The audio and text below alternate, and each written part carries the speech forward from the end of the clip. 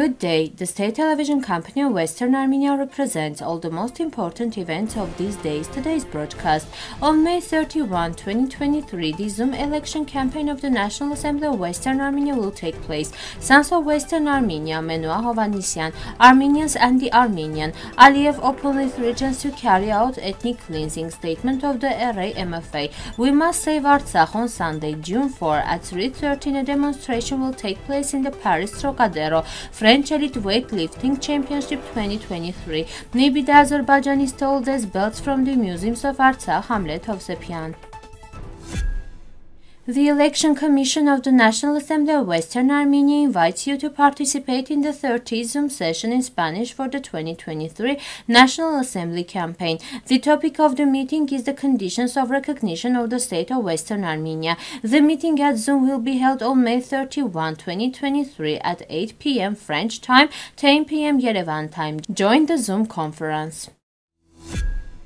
Artsakh hero Menua Hovhannesyan was born on December 22, 1985. Menua was very fond of astronomy and geography at school in Armenia, as well as subjects related to history. After graduating from high school, he planned to enter the Department of Television Directing, but after changing his mind, he moved to Russia to study. He planned to get a law degree, but two years later he returned to his home country and took the position of coordinator director of the TV project High Aspect. In parallel with his work, Hovhannesyan graduated from the Department of Public Administration of the Faculty of International Relations of Yerevan State University by correspondence. In April 2016, he enlisted as a volunteer and went to defend his homeland in Artsakh to participate in the four-day war unleashed by the authorities of Baku. After serving in Artsakh for about a month, he returned to Yerevan with a firm decision to become a scout. Following the dream, on December 16, 2013, Menua marries Թամարա Կոստանդյան Children are born Sardur and Arina. On September 28, 2020, as part of Kerry's detachment, he goes to Artsakh as a commander of the 3rd Platoon. His wife Tamara Kostandian asks her husband about departure. Is it possible that you will not go? To which Menua answers, It is impossible. We must go. On October 2nd, together with the men of the platoon, Menua carried out a safe retreat of the Madaris military unit during which, with his direct participation, over 80 conscripts were withdrawn from the forest. On October 3, after one-hour discussions with Artsakh president, he undertook the responsibility for the attack on the Areghasar mountain. On October 5, after encountering about 180 men in the enemy's rear, they killed about 150 men. 33 years old Menua was killed during the battle. Selflessly dedicated to his homeland, Menua died for the love of his country, with the knowledge that there was no right to retreat.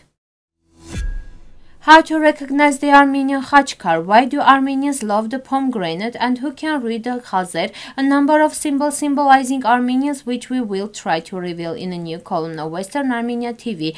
The first symbols of the Armenian series that we will talk about are the Wheel of Eternity at the six-pointed star, which are the most ancient significant symbols of the national identity of the Armenian people.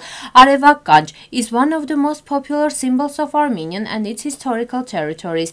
The sign of eternity is often found in center of the Armenian six-pointed star. Many people identify the famous Armenian six-pointed star with the Jewish Star of David because it is considered a symbol of Jewish identity and religion. However, the six-pointed star has a much longer history. Since ancient times, the Armenian people have used it throughout their history in ancient Armenian engravings. The walls, domes, khachkars of medieval churches and chapels are decorated with six-pointed star ornaments. The Ministry of Foreign Affairs of the Republic of Armenia draws the attention of the international community to the latest bellicose statements voiced by the Baku authorities on May 28. Contrary to the UN Charter, the written commitment made in the trilateral statement of October 31, 2022 in Sochi to refrain from the threat or use of force, similar verbal commitments repeatedly made in other fora, as well as negotiations on the normalization of bilateral relations. The Baku authorities again threatened the Republic of Armenia with the use of force and the people of Artsakh with ethnic cleansing. This is evidenced by the fact that by controlling the road of Berdzor, the Baku authorities have broken the connection between Artsakh and Armenia.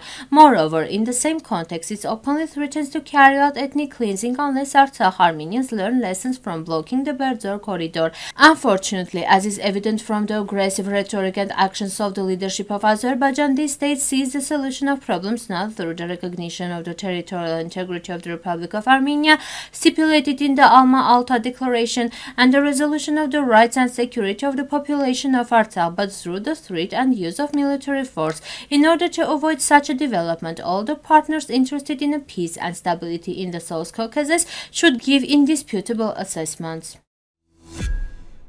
More than a hundred years after 1915 genocide with impunity, the military aggression of Pan-Turkism should not end with a new victory of force over law, taking advantage of the fact that the international community's attention is focused on the war in Ukraine.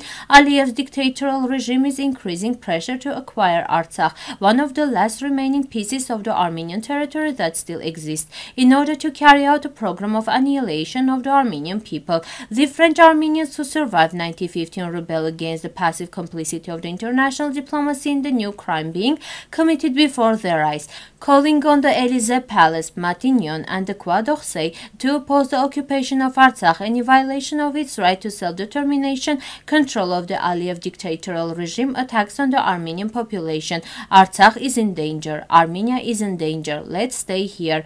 Let's come together. Coordination Council of Armenian Organizations of France.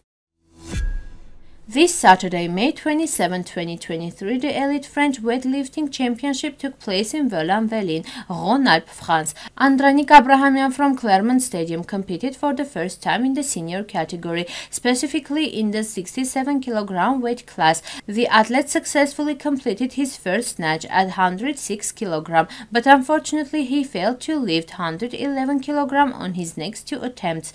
In the clean and jerk, Andranik Abrahamian lifted 125 kg kg, securing a medal. However, his final attempt at 135 kg, which would have earned him the gold medal, was unsuccessful. In the end, thanks to his impressive performance, Andranik Abrahamian won the silver medal in only his second year of practicing weightlifting. Unique samples of Armenian applied art collector Hamlet Hovsepyan writes on his Facebook page, One of the Turkish antique dealers I know has sent me photos of six belts of unique Artsakh culture. The belts were purchased from a Baku antique dealer. There are Armenian seals on three of the belts. Well aware that one of time there were a large number of Armenians living in Baku, it is not surprising to find works of Armenian culture there.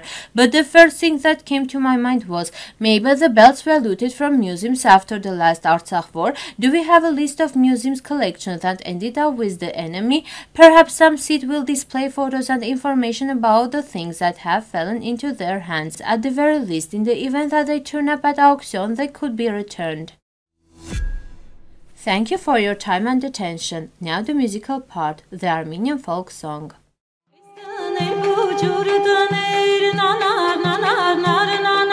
պիտեր